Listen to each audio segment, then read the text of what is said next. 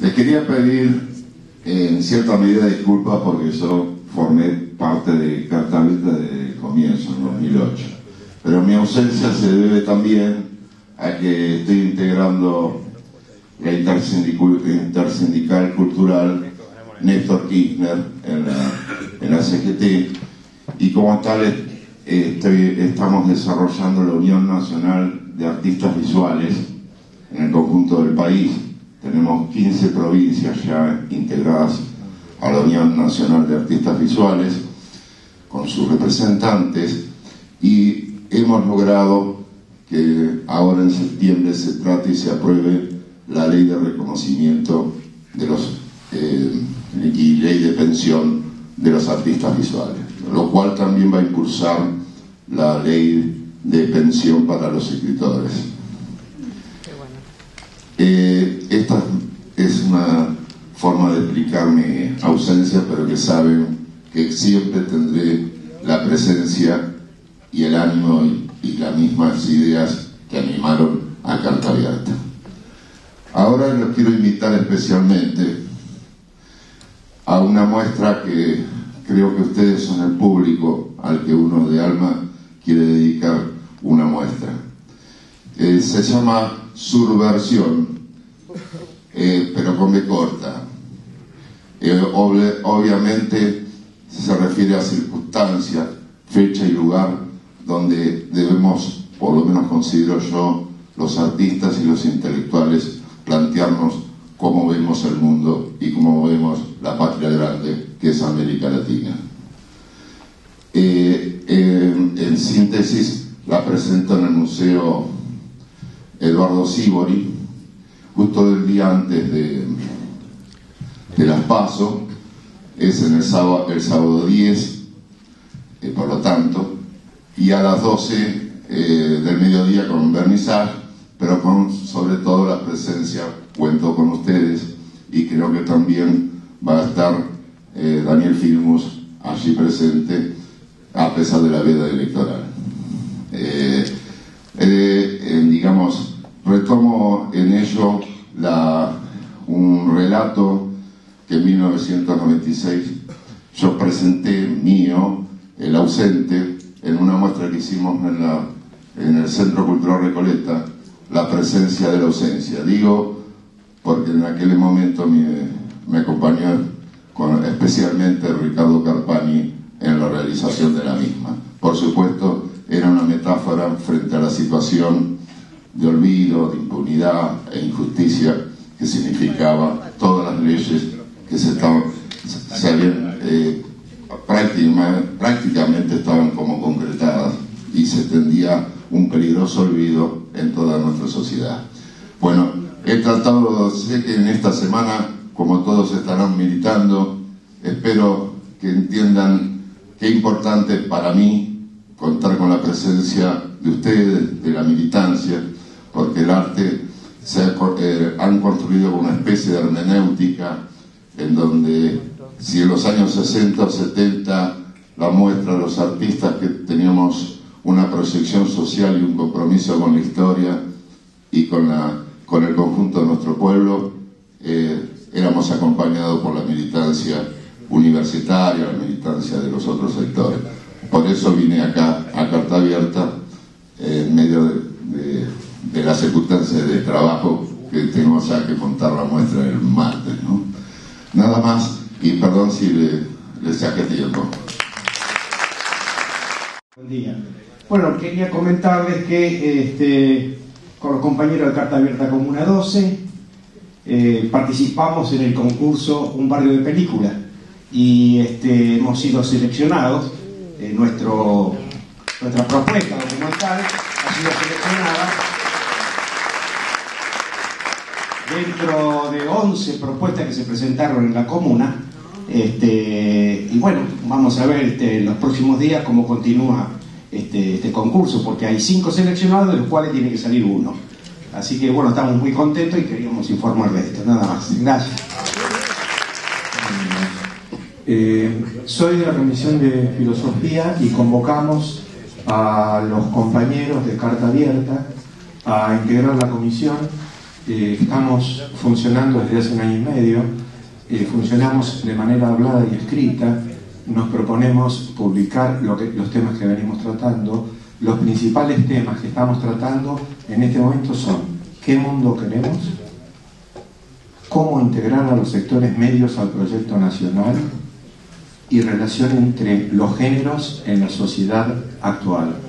Nos reunimos cada dos semanas aquí en, la biblioteca cuando no hay carta abierta y aquellos que, compañeros que tengan interés en integrarse no se inhiban si no son profesores de filosofía, es decir, convocamos a los que tengan interés en pensar sin prejuicios, no hacen falta títulos. Eh, hemos repartido un papel donde están los teléfonos y los nombres de las personas a las cuales pueden recurrir para nuestra próxima convocatoria, que es el sábado que viene, este, eh, que ojalá eh, vengan muchos de ustedes. Gracias. Aníbal Segura, pertenezco a la Mesa Multisectorial de Salud de la Ciudad de Buenos Aires, que antes era Unidos y Organizados y que ahora es ya eh, Frente para la Victoria. Estamos trabajando desde hace alrededor de un año, por eso también, igual que Cedrón, este, yo he, desaparecido prácticamente de las reuniones de carta abierta. Hemos trabajado en todas las comunas, hemos trabajado incluso en el Gran Buenos Aires, en Hurlingham, en barrio Citaña, en barrio Padre Mujica, eh, en una tarea militante y asistencial al mismo tiempo. Este, bueno, la Mesa Multisectorial de Salud en este último año ha crecido muchísimo. Eh, tan es así que eh, para esta semana los quería, en nombre de la mesa, los quería invitar eh, muy concretamente dentro y dentro de la campaña electoral a una reunión que hacemos con los candidatos, con todos los candidatos de Frente para la Victoria, los candidatos nacionales, en el anfiteatro, en el aula del Instituto Malbrán, eh, que es el martes 6 de agosto a las 19 horas en Avenida Vélez Arfield 563. Repito, martes 6 de agosto, 19 horas, Auditorio Malbrán, Avenida Vélez Arfield 563. Esa es la primera información. La segunda información tiene que ver, no sé si ha llegado a ustedes, tiene que ver con eh, la situación bastante seria yo diría casi dramática en que está la salud en la ciudad de Buenos Aires. A raíz de este problema, el, al día siguiente del que les dije, o sea, el miércoles 7, hacemos la Marcha Blanca. Este, la Marcha Blanca... Eh, digamos, lleva como consigna los recortes en salud matan, los recortes en salud matan.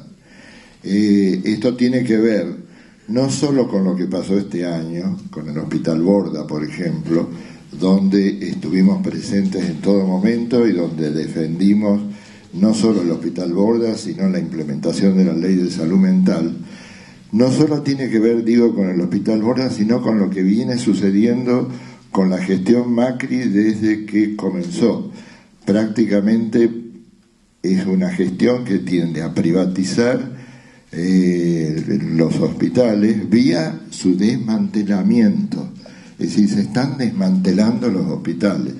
Entonces tenemos casos como el Hospital Durán, que se inaugura una terapia intensiva, esa terapia intensiva se cierra, se cierra poco de ser inaugurada en el 2011 eh, y se vuelve a reabrir el año pasado pero con la mitad de cama, por ejemplo.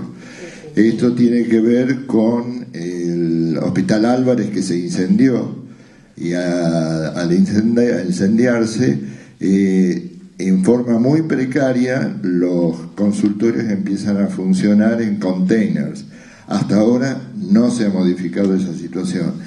Pero sobre todo y fundamentalmente tiene que ver con el hospital de niños.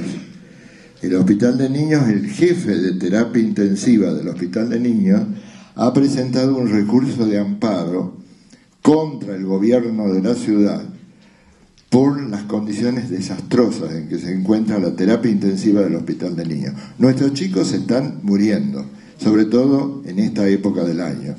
Nuestros chicos, de acuerdo, les doy dos cifras, dos datos.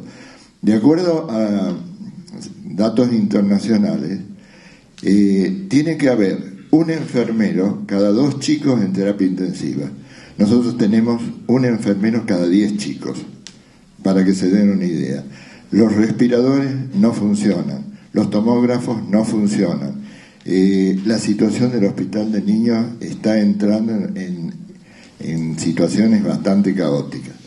Al mismo tiempo, los trabajadores de la salud mental han sufrido a partir del mes de junio un recorte en sus salarios, aduciendo el gobierno de la ciudad de Buenos Aires que han sido mal liquidados los acuerdos que hicieron en eh, las reuniones, este, en las paritarias.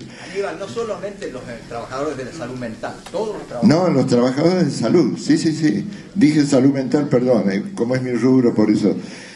todos los trabajadores de salud, desde entre 3.200 y 1.500 pesos. Entonces, este, la pretensión, la pretensión del gobierno de la ciudad, que ya está implementado, porque el primer, segundo, perdón, el segundo descuento, es que los trabajadores devuelvan esa plata.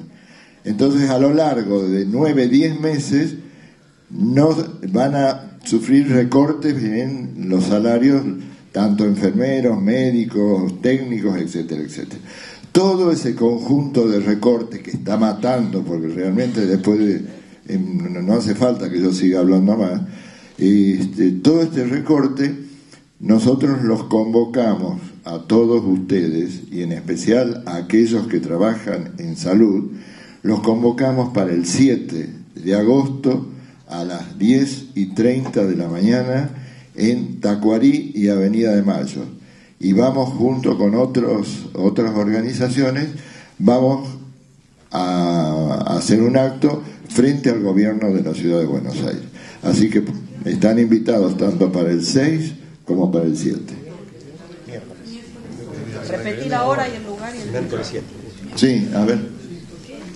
Yo sé que quizás sea un poco tarde, bueno, de todas maneras son las primarias. aumentado 1%.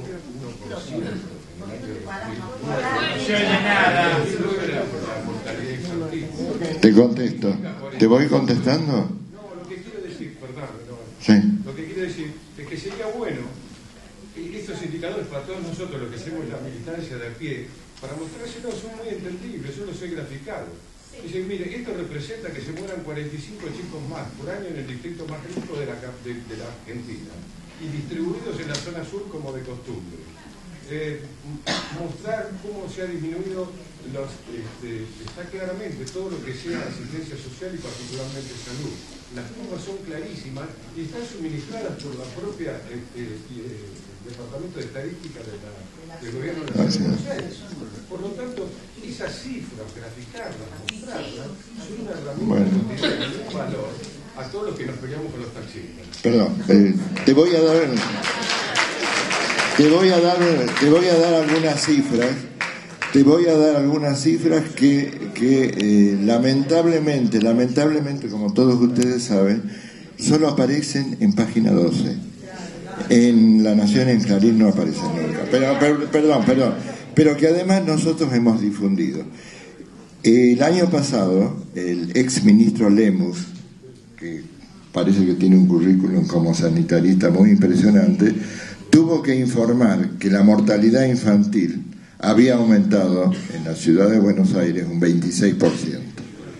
Eso significa, eso significa, ¿no es cierto?, que entre el eh, anteaño pasado y el año pasado, todavía no tenemos las cifras de este año, murieron 360 chicos.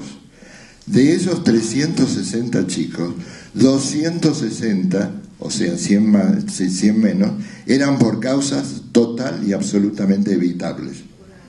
Es decir, yo no puedo mandar a, carta abierta todos los, todos los datos que nosotros estamos manejando en este momento. Lo importante en todo caso, lo importante es pedirle en función de lo que acaban de escuchar, ¿no es cierto? En función de lo que acaban de escuchar, que vengan a la Marcha Blanca el 7 de agosto, Tacuarí y Avenida de Mayo a las 10 y 30 de la mañana. Se los vamos a agradecer mucho, no solo a los que trabajan en salud mental, sino a todos los que están acá. Muchas gracias. que también lo, se pasó por, la, por el de carta abierta, el que organiza el CIPIDAR en, la, en, el, en el Salón de Mármol del Banco de la Nación Argentina de 9 y media a 5 de la tarde sobre el rol de la banca pública en la última década en, en América Latina. Eh, solo un punto. Eh, durante toda, la, toda la parte última del, siglo pasado, los últimos años, fue muy desarticulada la banca pública de la región. En Argentina se perdieron prácticamente la mayoría de los bancos provinciales, pero se logró mantener el Banco Nación que en aquel momento también intentó ser privatizado. Pero en otros países como en México se liquidó toda la banca pública y en algunos otros países, este, como en Brasil, se logró mantener algún instrumento. La idea era esta de eh, poder destacar y discutir respecto de qué hubiera pasado si estos instrumentos no hubieran estado en manos del Estado en el momento de la recuperación, del Estado de los Estados en el momento de la recuperación de, otras políticas en Latinoamérica. Un tema muy interesante de debatir porque, bueno, hacer memoria en relación a, a las medidas efectivas que habían sido impulsadas en aquel momento por este, por el neoliberalismo y los instrumentos justamente que fueron resistidos a que ellos los apropien son, fueron los más útiles o uno de los más útiles en el momento posterior cuando se recuperaron políticas de un orden distinto. Es un debate necesario para hacer porque en muchos países se han quedado sin banca pública, algunos se han quedado sin moneda, inclusive como Ecuador. Bueno, ese, es el sentido de la, de la actividad, los invito a todos.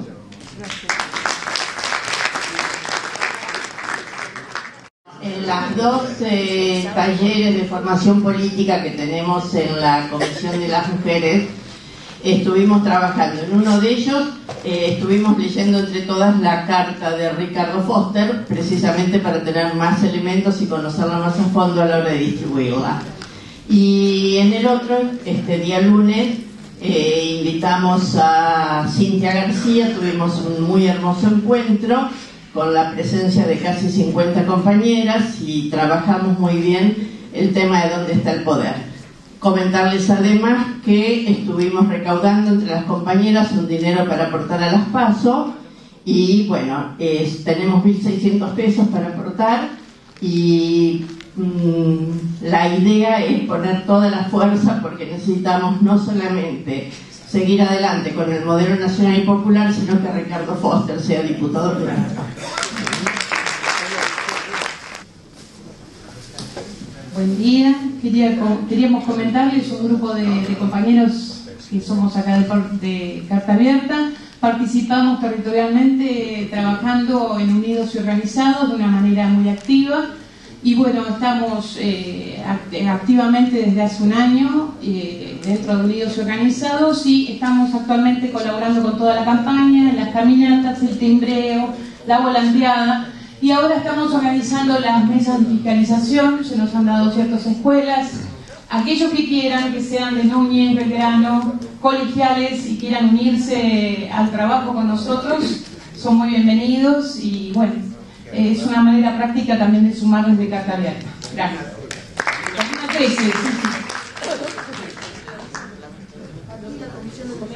Comisión de Tecnología. Bueno, eh, muy, muy breve. Les recuerdo que este lunes eh, a las 19 horas en el Centro Cultural de la Cooperación eh, organizamos juntamente junto con el centro la quinta charla de la comisión y en este caso les recuerdo que va a venir el doctor Alberto Hornblit, que verdaderamente es un personaje internacional de la ciencia, que vale la pena escucharlo, tiene ideas muy importantes que les puede transmitir y que nos pueden ayudar en nuestra militancia y en nuestra actividad permanente. Así que quedan todos invitados, les recuerdo, es en el Centro Cultural de la Cooperación, el día lunes 5 de agosto a las 19 horas. Muchas gracias, hasta luego.